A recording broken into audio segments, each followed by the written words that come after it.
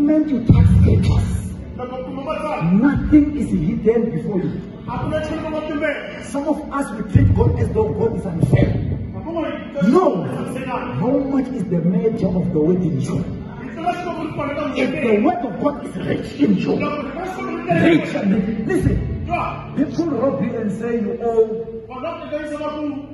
you owe some level of knowing God.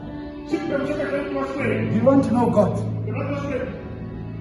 He said to Joshua, This word must not depart from your mouth. It means the moment the word is in your mouth, you can look at God waiting.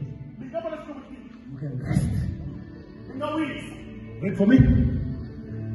And I set my face to the Lord, Huh? the Lord God, to seek him in prayer To and seek- supplications. To seek Him in prayer. It means no prophecy can be tri- triggered until prayer is released. When Hannah was to give birth to Samuel, the word of God says, year in and year out, they used to go, it was a religious custom. They used to go there, and when they break fasting, she will break with them. She go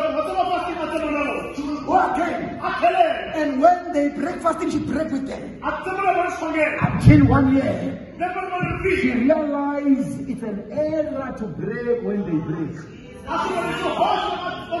And, and, and when they went home, she remained. Ah, many people will tell you this. Listen, if I start prayer now, and after one hour you